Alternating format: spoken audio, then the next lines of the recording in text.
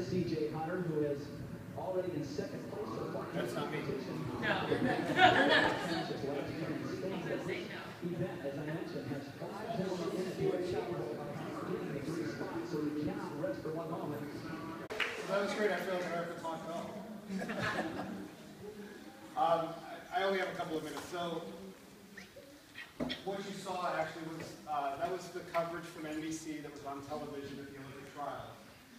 And the thing that um, the thing that doesn't come through is that on that uh, that throw, that was my last throw at the Olympic trials.